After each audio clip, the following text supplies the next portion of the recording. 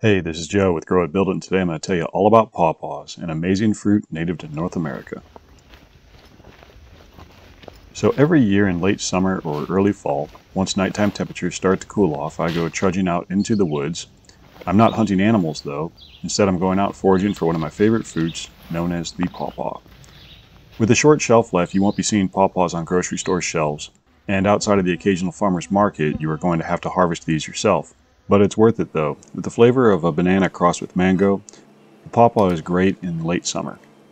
I became interested with pawpaws upon learning about them some years back. I had never heard of them, so I set about learning how to ID and find the tree. I sort of became obsessed with it and finding patches of trees, foraging, harvesting them, eating, and then growing them myself from seed. This video will be a complete profile on this native tree and its fruit. It's going to be very long, but I will have a digital table of contents below if you are just trying to learn one specific aspect. You can just click on that and jump to it via the link. But in this video, I'm going to cover the following. What is a pawpaw tree? Identification and characteristics, the growing conditions, how to find them in the wild. And in this, I'm really going to give you all of my tips for locating the trees, exactly what to do, the steps. What I look for to spot them from a distance, and some common lookalikes as well when and how to harvest pawpaws, how to eat them and store it for later, how to save the pawpaw seeds and germinate them, growing pawpaw trees in your own yard, where you can buy pawpaw trees online, other uses of pawpaw trees, and then we will review. So I hope you stick with me and learn about this unique, curious tree and its delicious fruit.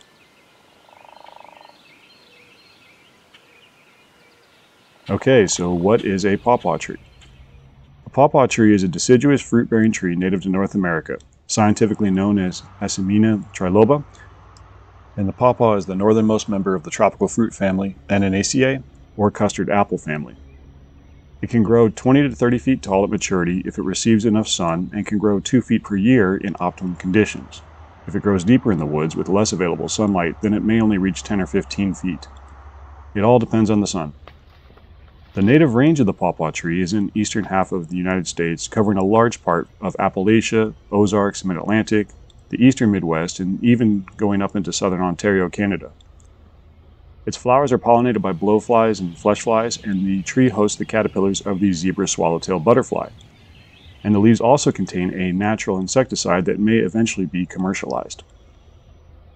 Identification and characteristics. The bark of a pawpaw tree is light gray in color and speckled, and it would probably be completely smooth if not for these speckles.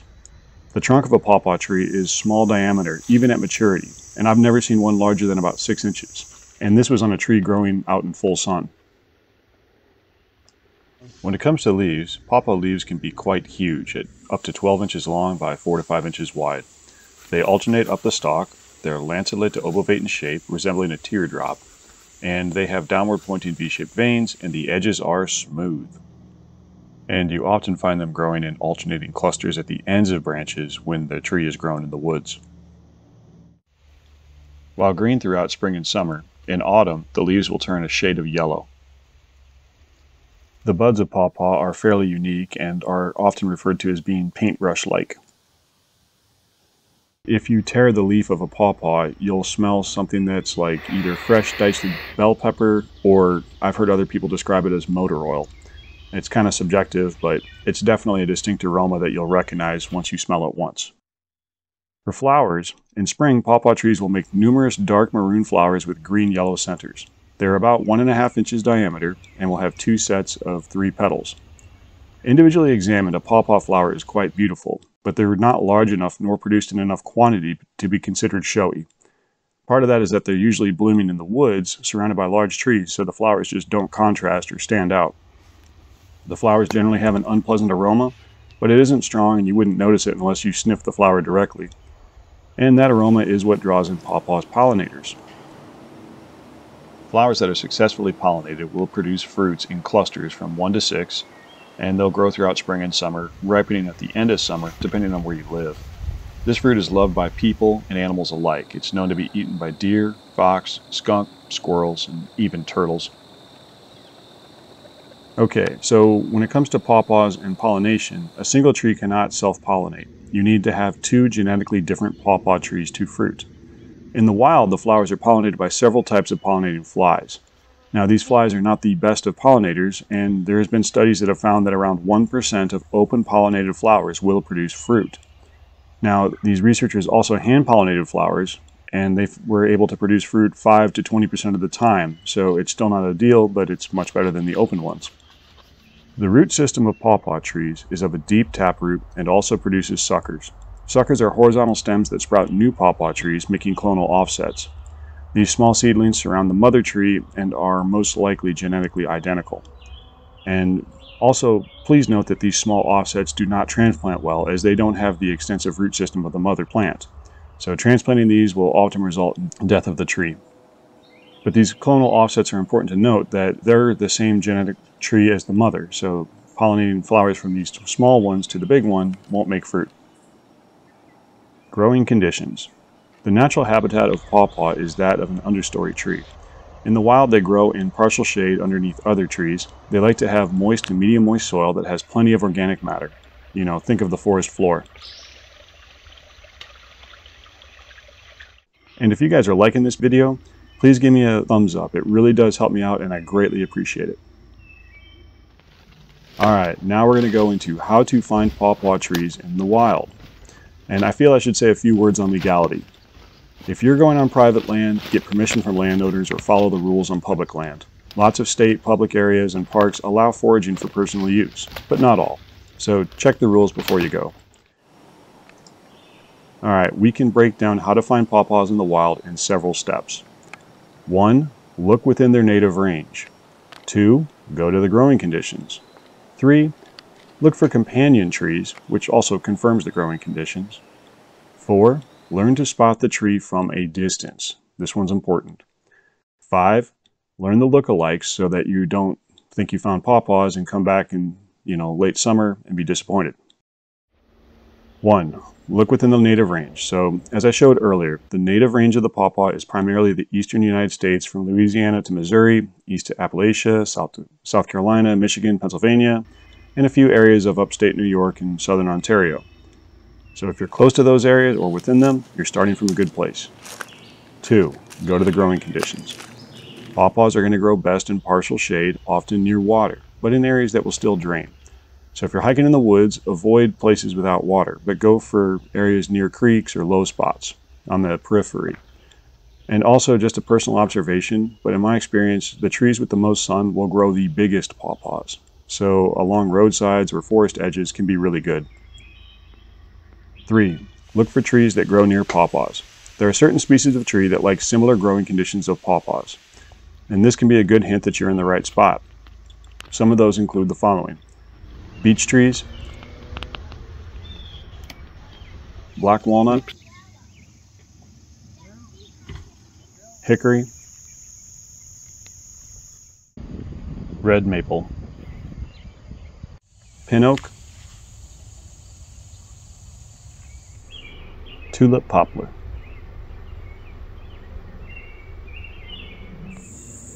The spice bush. And sycamore. Four, learn what form of tree to look for. This is the single most important factor in finding pawpaws. Once you've put yourself in the native range and correct growing conditions, now it is time to cover some distance to find these trees. Being able to spot a tree from a distance is quite valuable. It allows you to cover a lot of ground and not waste time trying to ID non-pawpaws. And what form is it? Well, these are understory trees with big leaves and skinny trunks. So the first thing I look for is large leaves, way larger than the surrounding vegetation. This should be drawing your attention. Pawpaw leaves generally stand out for their size, but the overall tree shouldn't stand out. What I mean is that it's an understory tree, and it should be 10 to 30 feet tall, which is not that tall in a hardwood forest. And it should have a trunk that is likely only 2 to 4 inches diameter. Very skinny. Also, because the pawpaw is spread via underground suckers, you should be seeing some small seedlings like this near a mother tree. Okay, so to better learn how to spot pawpaws from a distance, I'm going to show you some images in the woods where there are pawpaws. I'll let you try to spot them, then I will show them to you. Also, I strongly recommend that you make use of the visual aids at my website that you can download as PDFs. Just Google Pawpaw Grow It Build It, and you can have them on your phone when you go out in the woods. But okay, let's look at some pawpaws. So, can you see the pawpaw tree in this image? You should be looking for big leaves, skinny trunk, short tree. Being able to pick out these kind of profiles from a distance will allow you to cover so much ground. You're definitely going to find pawpaws if you're in the right area, if you follow the other steps. There's the pawpaw tree. Once you suspect you have a pawpaw tree, then you just simply start walking towards it, get closer, and confirm the identification. We're about 15 yards away from it right now, and the leaves should be a little more apparent, but uh, as we get very close to it and finish it off, you should be able to see exactly what it is.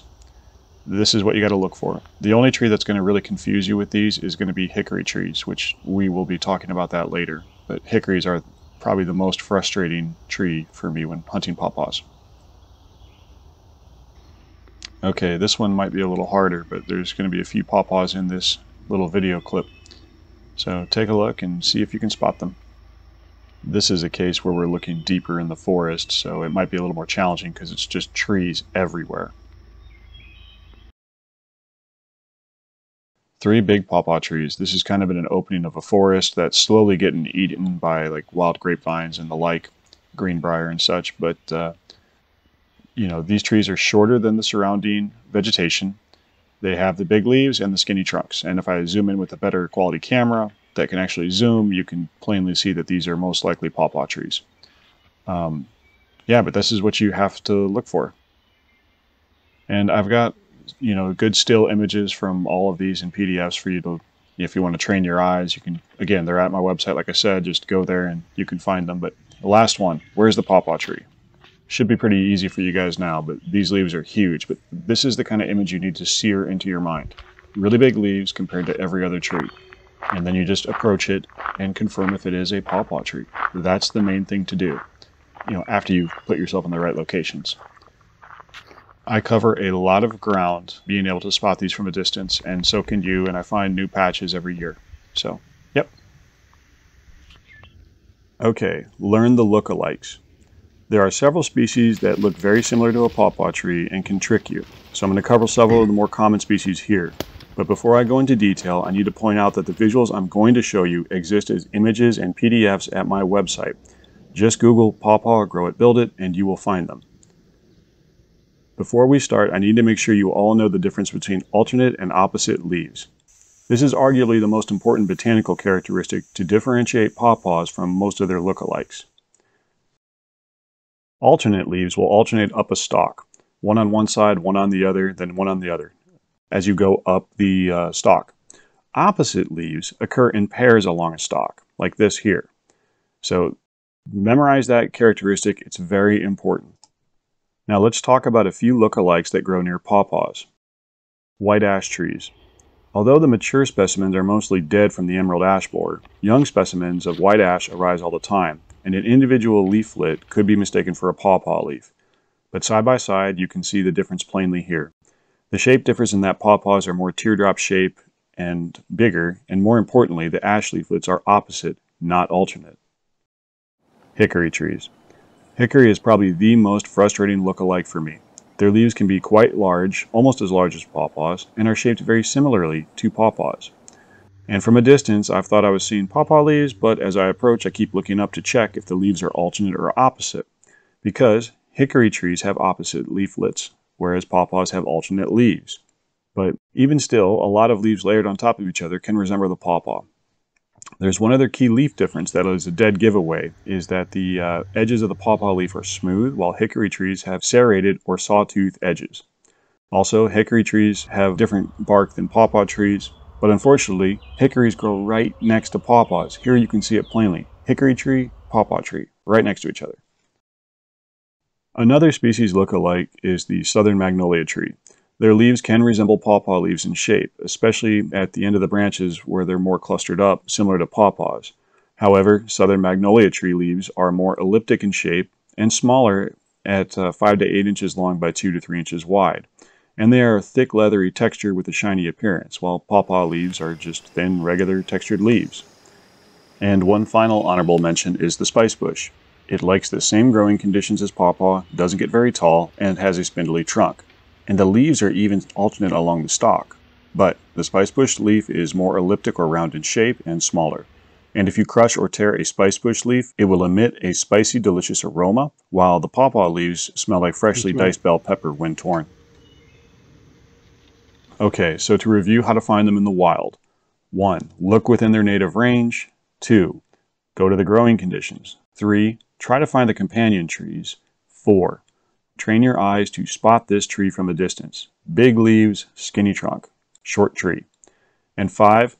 Learn the lookalikes. Okay, when and how to harvest pawpaws. Pawpaws ripen up depending on where you live. In the south, this is closer to midsummer, while in the north, where I'm at, it's more towards the end of summer to early fall. I'm in southern Pennsylvania in zone 6, and this is usually around mid September when the outside nighttime temperatures start to dip below 60 Fahrenheit. When the pawpaws are ripe, they will begin to turn from a medium green to yellow in color. They'll become soft to the touch and they will begin to fall from the tree naturally when they are at their peak ripeness. If you have trees on your land, you can just go pick them up on the ground, checking daily. Otherwise, you can harvest the pawpaws by just gently shaking the tree and collecting those pawpaws that fall. If you violently shake the tree, you will get more pawpaws, but some of them are going to be hard and not ripe. Most of the time, they will ripen up on a kitchen counter or a windowsill over a week or two, but if the pawpaw is harvested too early, it won't ripen up at all. Also, ripe pawpaws will have yellow flesh, while unripe pawpaws, the flesh will be much more white. Pawpaws on the ground do not have a long life. One, due to the short shelf life naturally, and two, because other animals like deer, fox, raccoons, skunks, they'll all eat them. So you really want to be out there gently shaking the trees as the time approaches. I do this a couple times over a two week period. Otherwise, you may lose most of your pawpaws due to spoilage or animals. Now, how long do they last? Well, pawpaws will generally last for a week at room temperature. In the refrigerator, they can last for two to three weeks, but don't put them in there unless they're starting to ripen up. Eventually, the skin will turn black. It'll be extremely squishy, though, and likely fermented. How to eat pawpaws. The easiest way to eat a pawpaw is to cut it in half perpendicular to the long axis of the fruit. Then, just using a spoon, scoop out the flesh and eat it, you know, putting it right between the skin and the flesh. Spit the large seeds out onto a plate and do not eat them. The flavor is very similar to banana with a hint of mango and quite sweet. And this is what I do during the season. My daughter and I will eat, you know, a few pawpaws a day as you've got to eat them before they spoil. Storing pawpaws.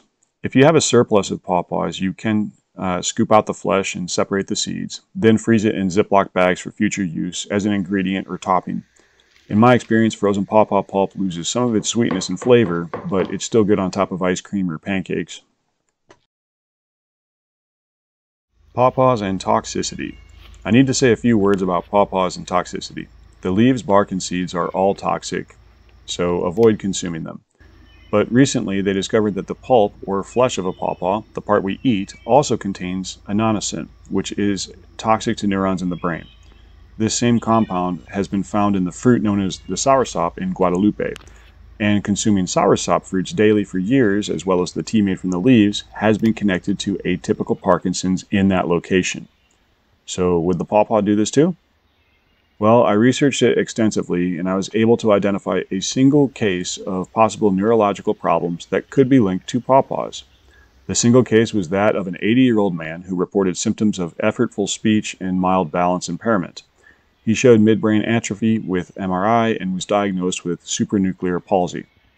It turns out this man has been consuming an estimated 30 pounds of pawpaw pulp for five years prior to symptom onset and five more years until he died from aspiration, which is partial obstruction of the airway due to difficulty in swallowing.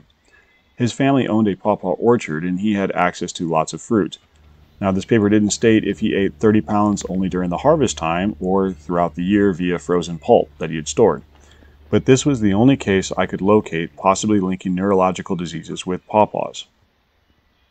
Given the history of pawpaw consumption for thousands of years, starting with Native Americans and the amount of people who consume them today when in season, I think if there was an acute risk, it would be known. And since pawpaws were historically consumed only during a brief seasonal window without apparent issue, I personally am perfectly comfortable eating them and will continue to do so. I generally only store a couple of Ziploc bags of pawpaw pulp for later use, but all in all, this is not a fruit I regularly consume throughout the year. But do your own research. Make sure you are comfortable with this information before consuming pawpaws. How to save pawpaw seeds. To save pawpaw seeds, you simply separate them from the pulp and cut off the small membrane or scrape it off with your fingernail at the base. Soak the seeds in a 10% bleach solution for about 5 minutes, then rinse the seeds thoroughly. Pawpaw seeds cannot be allowed to dry out. Now, the University of Kentucky reports that pawpaw seeds can be stored in a sealed container in the refrigerator for several years without losing much viability. But if you're planning to germinate these yourself, you should just place them in a moist paper towel in the fridge until you are going to sow them. This is also sort of like getting a jump on cold moist stratification. But take a full size paper towel and fold it in half, placing your sterilized seed on it. And fold it over and mist it with uh, distilled or clean water. Then place another full paper sized towel on it and moisten that one too, folding them up to make sure they're really covered and good.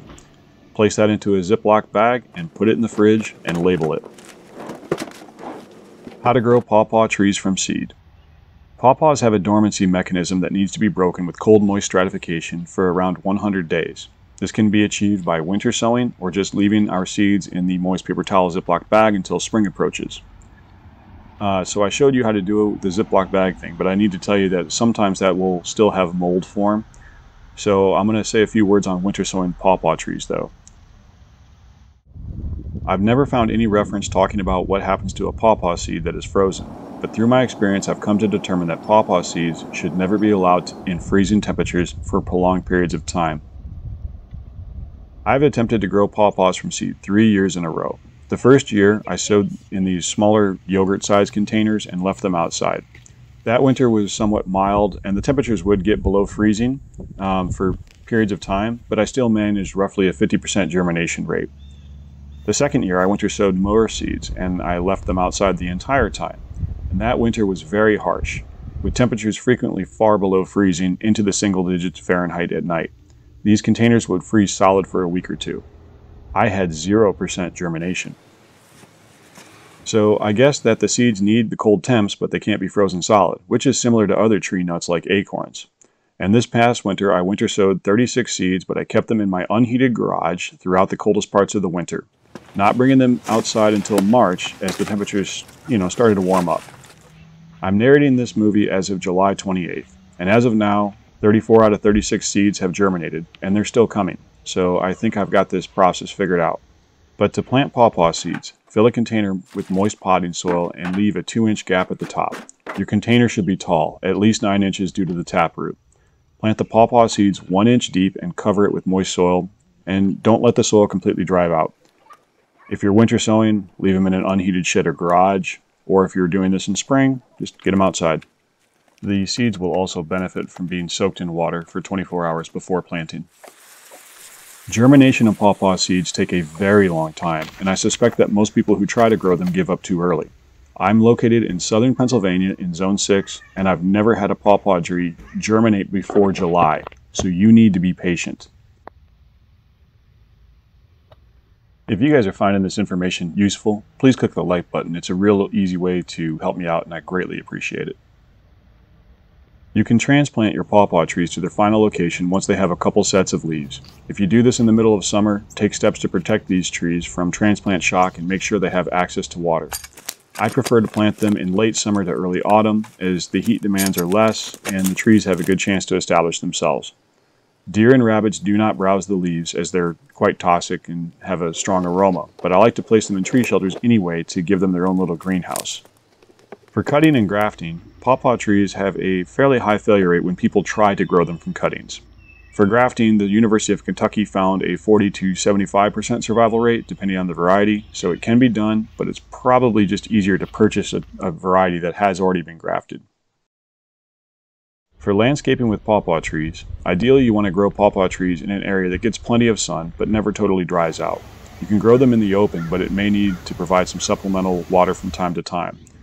And there are recommendations that you place a tomato cage with some shade cloth over the top of the tree for the first year or two, just to give it a little less sun. They don't like being in wet soil though, so it's important that it drains well. If you're unsure about this, I'll put a video how to test your drainage in the notes below. I have several trees I planted around my property and some on no man's land, and these get sun in the morning and shade in the afternoon. This allows them to grow fast but prevents them from drying out. And so at my house, I have two trees that I started as bare roots in 2017 that were just six inches tall, and six trees I started from seed in 2021. These six trees started from seed in 2021 are now two years old, and most are grown in tree shelters, and they're about two feet tall after two years. However, one specimen is actually poking out of its tree shelter, making it, you know, four feet tall after two years, so two feet a year. And this tall specimen obviously gets the most sun and is near a drainage ditch. Now, pawpaws that you grow from seed will be completely unique new varieties, similar to how apple trees work. You know, if the seed from your favorite pawpaw that you grow, it may not grow a tree that produces similar fruit. They may be huge with a few seeds or small with many seeds. So if you have a suburban yard and just want to get some pawpaws, it's best to purchase special grafted varieties that should produce large fruit. Also, you need two genetically different trees so that it will set fruit as there must be cross-pollination.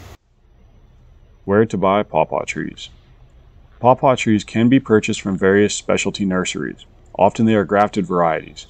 At our website, we have an interactive map to locate native plant nurseries in your area. I will link to that below. A really cheap way to get pawpaw trees quickly, though, is to purchase them as bare roots.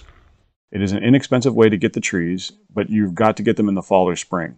Shipping is usually a flat rate no matter how many trees you buy.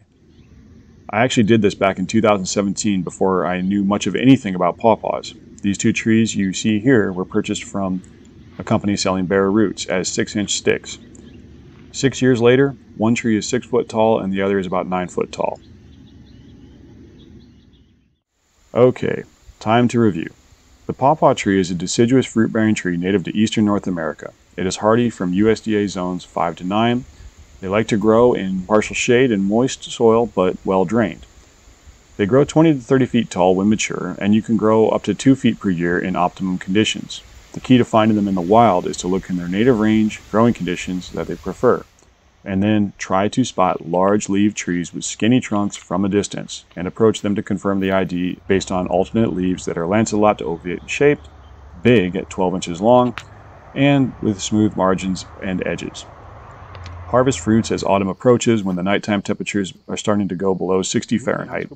Fruits should be somewhat soft, not firm, and you can gently shake the tree to make them fall. If you wish to grow them from seed, do not let the seeds dry out. Sterilize and rinse them, cold stratify in the fridge or winter sow, but don't let the containers freeze solid. Germination will not occur before summer. Okay, this has been a very long video, and that's all I've got for you today. If you've enjoyed this video, please click the like button. It really helps this video out and myself, and I really do appreciate it. If you have any questions, please ask them in the comments and I will do my best to answer them. And all the info from this video exists as an article on our website, which will be linked below. So save it in your favorites or for a quick reference later, or for when you are out hunting pawpaws. All right, though. You all have a good day. See you later. Is there any more over around here?